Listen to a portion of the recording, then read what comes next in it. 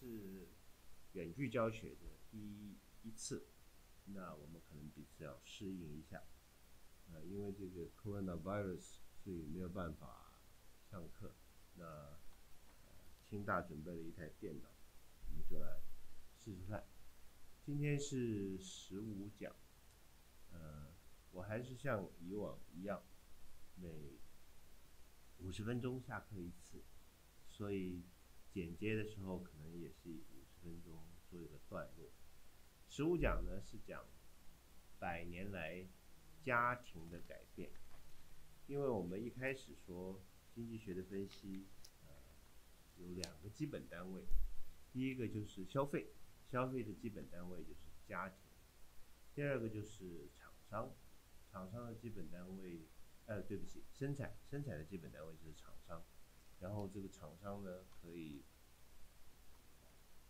专业做生产，家庭它有一部分生产，有一部分是消费。可是这样的情况在近也许百年，也许两百年，就逐渐有一些改变。那我们看一看有哪一些改变，一点一点来讲，这些改变是重要的。呃因为你知道这些改变，才能够正确了解为什么你会看到许许多多你平常已经熟悉的现象，但是呃，从经济的角度来解释是有它的意义。第一个重大的改变就是生育的改变。那我们在人口学、经济学上面常讲到一个观念，叫做人口转型。所谓人口转型，就是大约呃。两百年前开始，差不多工业革命类似那个时候，两百多年，啊，两百年前开始，死亡率开始逐渐下降，然后出生率开始逐渐下降，所以你要记清楚，永远是死亡率先下降，出生率接着下降，出所以死亡率下降先于出生率下降这样的一个现象，叫做人口转型。从两百年前大概，一直持续到一百年前，到现在都还是这样子，死亡率呃逐步的下降，然后出生率也开始逐步的下降。这两件事情合起来叫做人口转型。那人口转型之后，就产生一个叫做 quantity quality trade off，也就是从原来生很多小孩。每一个父母亲生很多小孩，变成每一个父母亲生很小的小很少数的小孩。比如说像我这一辈，我的兄弟姐妹连我自己有五个，那其他的亲戚朋友之间同辈的也是生四五个、五六个、七八个都有。所以每一个家庭的父母亲都生很多很多小孩。所以当年是重量的，拼命生，拼命生。现在呢不是，现在年轻人的学生这一辈，你们的兄弟姐妹，连包括你自己合起来，很可能就是两个，有时候一个，所以从生很多变成生很少。什么叫 qual？那就是 quantity，生很多变生很少。什么叫 quality 呢？就是原来生五六个小孩，其实也许都在农村帮忙。并不太着重这个孩子的括号 quality，现在呢就着重它的 quality，主要是什么呢？就是要念清大了，要念交大了，要念台大医科了，要念硕士了，要念博士了等等，就不断的提升这个孩子的品质。那我们刚才不断强调说，人口转型死亡率下降先于出生率的下降，为什么会这样子呢？因为当年死亡率很高，尤其婴儿死亡率很高的时候，也就是两百多年前，父母亲必须要生很多，也许生五六个，最后也许才只有一两个存活。所以当年的卫生环境不好，死亡率很高，你必须要生很多才能够存活足够的小孩。现在不是了，现在婴儿死亡率变得非常非常低。所以你不必生四五个才会存活一两个，你如果生了四五个，可能就存存活四五个，这样就很累，父母亲将来就非常非常累，尤其你每一个孩子都要提升他的 quality 就不可能。你要供养这么多小孩子念大学，念尤其是私立学校，就非常辛苦。所以呢，因为你不需要生那么多，因为死亡率下降，所以你不需要生那么多，所以你生一两个就好了。那你生一两个就有足够的余力去提升小孩子的 quality，这叫做 quantity quality trade off。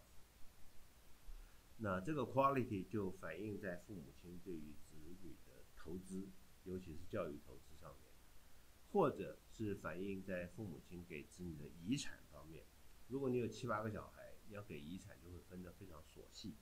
那如果你只有一两个小孩或者一个小孩，那你分遗产要给留给子女遗产就非常方便。这叫做 quantity quality 推到。这是近一两百年来生育最大的改变。刚才讲的人口转型是在呃欧洲开始的。因为那个地方科技发展的最早，工业革命也最早，所以呃，他们就不慢慢的控制了流行病、传染病，然后就能够降低死亡率。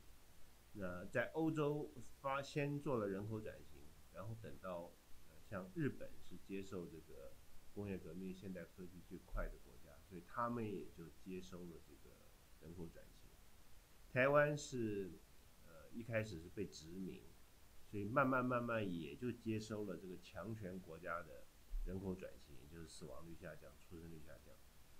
但是在西欧，他们死亡率下降是缓慢的，因为你需要靠这个呃疾病的压抑疾病一个一个突破，突破了黑死病，突破了牛肉等等，这些疾病一个呃牛那个呃是呃。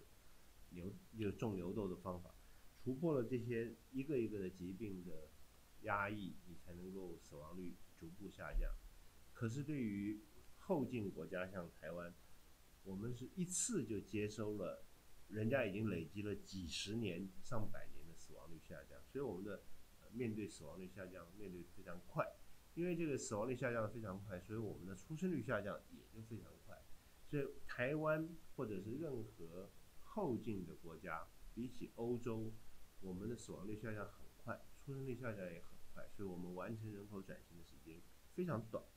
那欧洲像法国完成人口转型，啊，所以就是从高死亡率、高出生率变成低死亡率、低出生率，法国可能要花上一两百年、两百年的时间，但是像台湾就非常快，几十年的时间，大概从。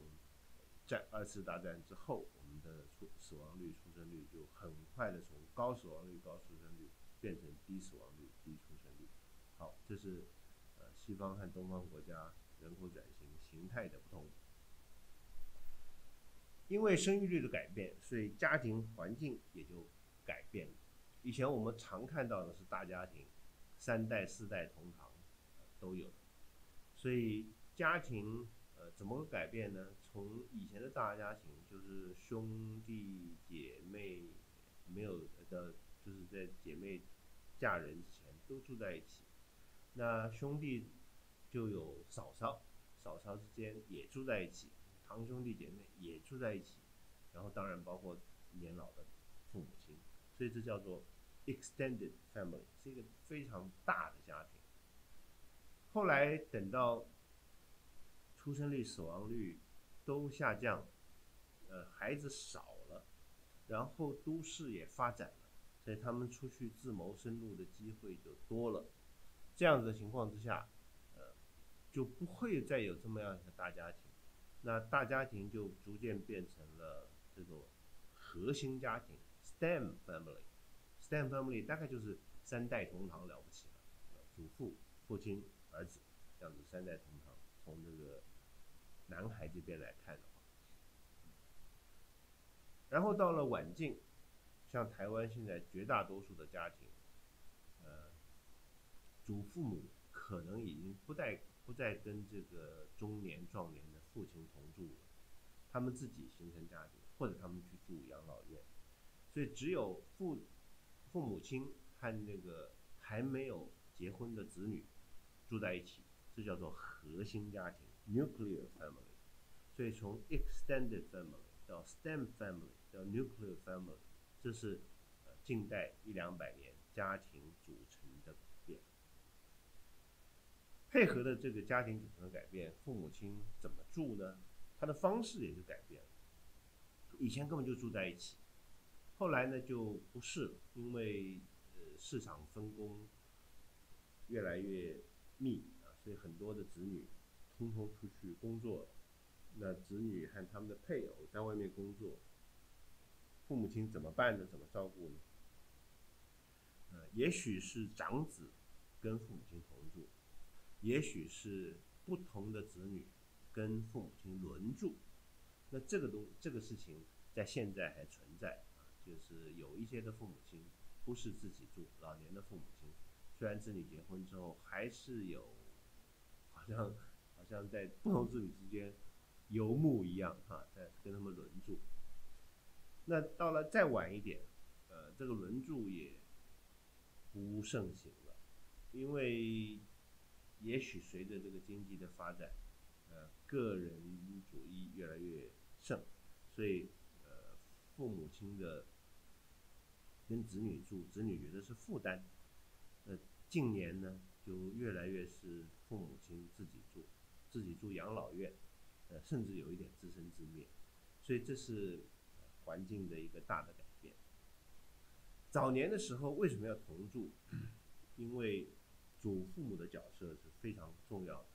可能即使在工业革命的初期，市场化的初期，长年长的父母亲、壮年的父母亲出去工作的时候，呃，子女幼年的子女谁来照顾呢？通常是祖父母来照顾。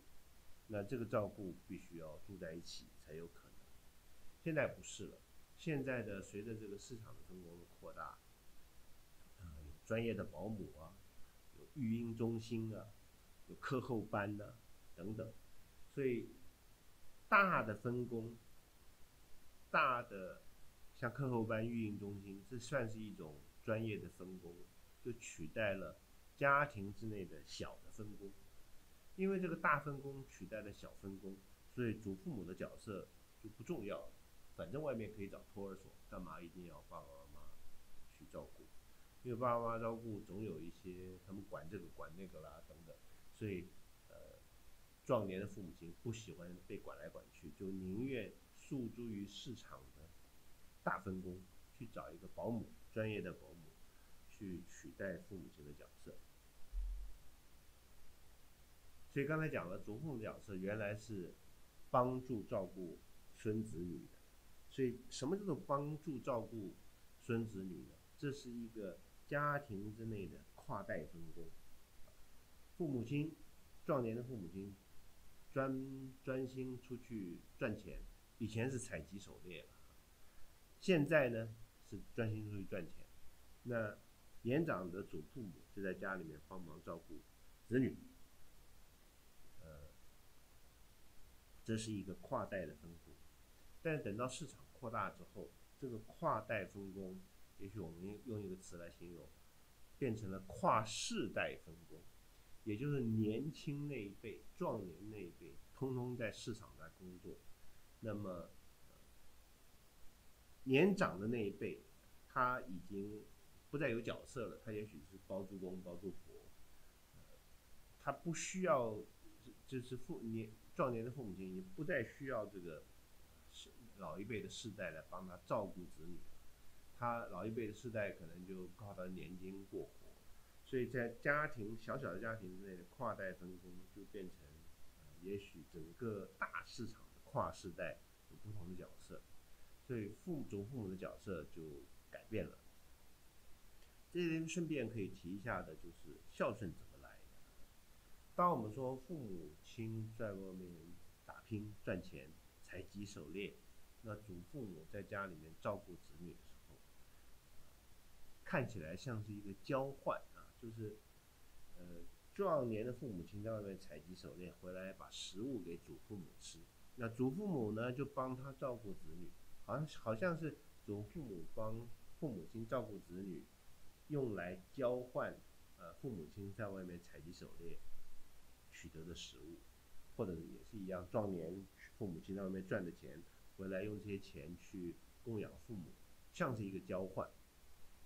可是这个情况跟孝顺是有一点差别的。孝顺是纯粹是利他的，就是你去孝顺父母亲，并不是因为他帮你照顾子女，然后你给他交换施舍他一点食物，不是的，你是你是真心的想要呃照顾他们，那就是孝顺。孝顺是比较像是利他的，那照顾的角色比较像是交换。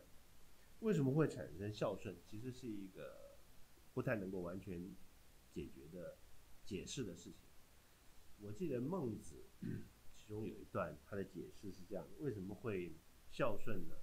一部分是在早年洞穴居住的时候，父母亲其实已经不太不太有能力照顾子女。等他们衰弱之后啊，他们就死亡，然后子女看到父母亲的骨骸，死亡之后被野生动物拿去啃食，非常不忍心，所以就慢慢慢慢希望能够保护父母亲。他他说这是孝顺的缘起。广义而言，孝顺算是一个长期的粘合剂，就是说，呃，壮年和壮年的父母和祖父母之间，如果只是交换，那个利益取向太大，就不够粘合。如果有一个孝顺的文化，使得他们的粘合比较比较长久、比较好的话，那就能够使得祖父母和父母之间的分工更顺遂。他们出去采集狩猎的时候，那有一个。祖父母帮他们照顾子女，就更，其实就像这个交换契约更圆熟一样。这是早年可能孝顺扮演这样一个角色。可是近代呢也是一样，我们刚刚说近代呢就是社会的大分工取代了家庭的小分工，那因此不再需要父母亲照顾子女，呃，在社会上也找不到。同样的，父母亲也。不再不再那么依赖子女对他的孝顺，呃，取得他晚年的照顾。现在有很多的社会保险，比如说我们的全民健保，我们的全民健保也许使用的人大部分是年老的父母亲、年老的祖父母，壮年人、年轻人比较少需要健保，因为他身体强壮。所以什么叫做全民健保？全民健保像是一个社会保险，那个社会保险就取代了家庭的小分工，那个大分工就取代了家庭的小分工，所以这也是一种呃叫近百年来家庭的改变。好，除了刚才讲的这个呃生育啊、祖父母的角色之外，呃，另外一个大家常看到的就是家庭分工的改变。早年呢，大概是男外女内。绝大多数的人类学的文献都呈现这个事情，呃，男生做一些粗重的狩猎工作，比如说猎取大大型的动物，大概女生不太做，女生可能做一些采集了、纺织了、煮饭了等等这样的工作，或者有外面的人或者是族族类想要来攻击的时候。通常是男生做这个防御，因为他们的体型比较大。那这是一个家庭内的分工，可是现在也不是这样子。现在不太有几个男生需要在家外面守护，防止外人入侵。这个事情已经变成了一个社会分工，做这个事情的人叫做警察，或者叫做军队，呃，他们是专业的抵御外人。因为有了这个社会分工，所以呢，呃，家庭里面的分工就不需要。另外一方面，也许个人主义啊，个人的平权的观念慢慢提升，所以外面的机会变多了。以前外面不需要工厂的工人，现在需要工厂的工人，所以早年不但女性开始参与。外面工厂工作，连童工都出现了。所以工业革命之后，女性的劳动参与率就上升了。很多人在外面做工。那因此，原来原来是一个家庭内的分工，男主外了，女主内了，男生去做狩猎了，女生做采集等等。现在不是了，现在男生女生都在外面做工。但是原本家庭分工的这个习惯，并没有在社会分工环境改变之后而跟着改变，所以很多的妇女就比较辛苦。她除了在外面工作跟男生一样，大家都做公务员，大家都在工厂，大家都是在公司受雇，但是女生呢，因为他已经我们。几千年来演化，女生是在做烧饭呐、采集，所以这个坏习惯还是背在女生的女性的身上。所以她即使外面的参与劳动参与增加了，她回国呃回家之后还是要忙着洗碗啊、带小孩啊等等。所以这些事情，呃虽然社会分工和家庭分工改变了，但这些事情在短期之内可能并不会完全的改变。好，除了家庭分工之外，还有子女的歧视。绝大多数的早年的历史都有一个证据，就是很多的绝大多数的族群啊，都是重男轻女。有些地方甚至有长子继承权。像台湾也有俗话说，嫁出去的女儿。泼出去的水，那大部分是男生去承继那个父母亲留下来的遗产啊，或者等等。那呃，为什么土地啊会给那个男孩或者是长男？呃，一部分的文献解释是说，早年土地要给那个边际报酬最高的孩子。因为当年的土地是用来种田的，在农业社会，土地就只有种田。那谁最能够种田呢？体力好的，所以通常男性，呃，高大强壮，力气大，所以他比较能够种田，所以他的边际报酬是最高的。那呃，边际报酬最高的孩子得到土地，这就是男性得到土地。那这样子当然变成。重男轻女，好像女性都分不到土地。可是现在不一样，现在土地不是只能种田，也就无所谓土地需要给男性这件事情。那呃，现在的如果你要把土地做最好的利用，有非常多的专业投资人啊，你要把钱做最好的利用，有银行有理专，所以你不需要给一个。在家庭里面找一个分工，找一个人最会、最会投资，把钱给他，不是这样的。有一个社会的分工取代了家庭的分工。在台湾早年的时候，证据显示，你如果是长女，你的受教育的年数最低。为什么会这样子呢？因为重男轻女的情况之下，家庭的收入又不够。如果小孩子要念书，要念大学，通常爸爸妈妈赚的钱还不够，所以长女最可怜，她早早就需要辍学出去工作，她赚的钱是帮助父母亲和帮助弟弟妹妹，尤其是弟弟去念大学、念高中，所以这是长女最辛苦的时候。可是现在这个环境也慢慢改变了，现在有一种东西叫国民教育，一开始六年。后来被九年，后来被十二年，所以念书不需要父母亲去张罗钱，国家出了大部分的钱，所以国民教育呢，呃，和大部分的公立学校都算是一个社会分工，那个社会把家庭原来自己去张罗，谁不要念书，谁去赚钱，谁帮助谁去念书，这个这个分工，呃，这个这个体系把它。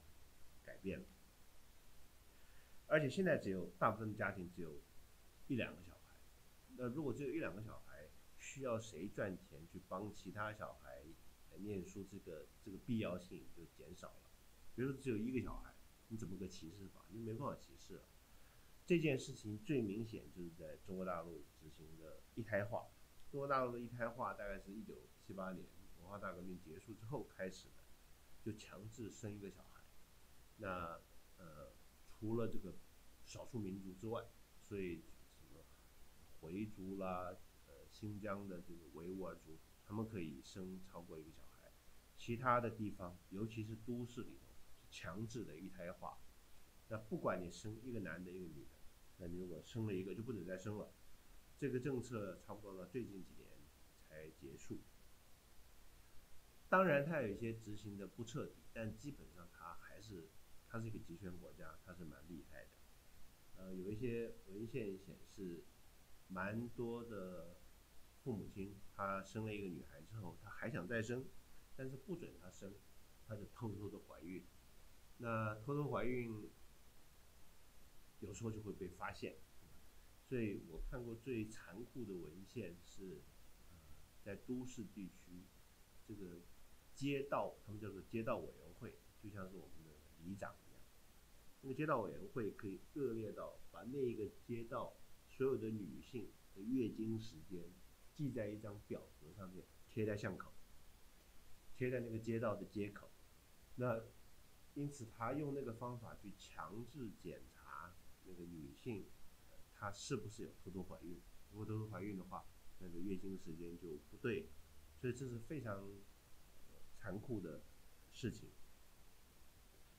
那也有一些地区呢，呃，他生了，假设生了一个女孩，他就把她送到乡间，托给他的某一个亲戚去寄养。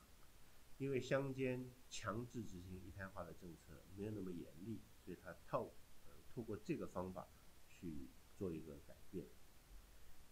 到了最近几年，终于把它终于结束了，这是。早年的，是中国大陆一胎化的。这边要讲的子女歧视呢，就是有一些研究显示，原来有子女歧视，现在如果你只强制一胎化，你只有一个女孩，和另外一家他只有一个男孩，那这个父母亲对于对于那个女孩的投资，和另外一个父母亲对于那个唯一一胎的男孩的投资有什么差别呢？呃，后来就发现歧视。子女之间歧视啊，一定要多个小孩才能够执行。如果一男一女，那对那个男的比较好，对那个女的比较差。啊，如果一男两女，也是对那个男的比较好，对那个两个女孩比较差。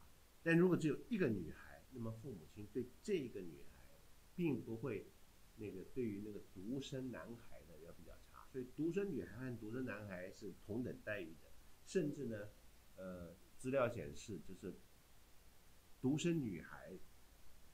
父母亲可能对他比那个独生男孩比较好，更要好，也许你还可爱一点，比较贴心一点。所以，呃，这也是一个大的改变。早年的重男轻女是一个家庭内为了资源报酬，比如说土地报酬而呈现出来的情况。